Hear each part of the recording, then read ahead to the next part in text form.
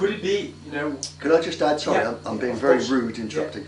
Um, one of our professors here, he's, he said in one of his lectures, which was published, there are about ten and a half thousand papers published showing the devastation of trees, insects, animals, plants, and not a single paper out of the ten and a half thousand has ever been commented on in the press, the magazines, the papers, on television, and the BBC are the worst for covering this up. um, not a single paper has reached the public.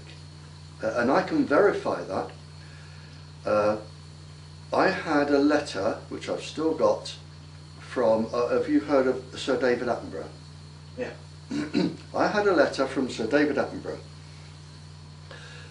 advising me to take my information to the BBC to make a documentary.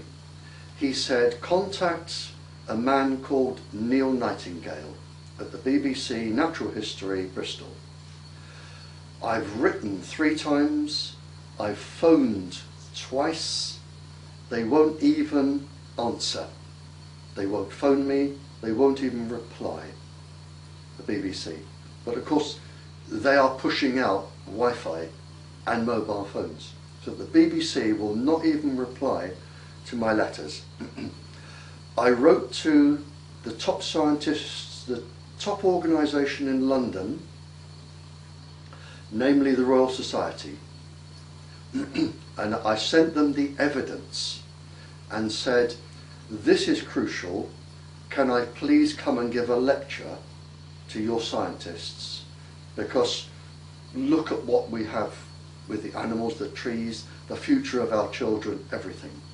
And I got a letter back saying, We are not prepared to discuss this. Of course, it's a government body.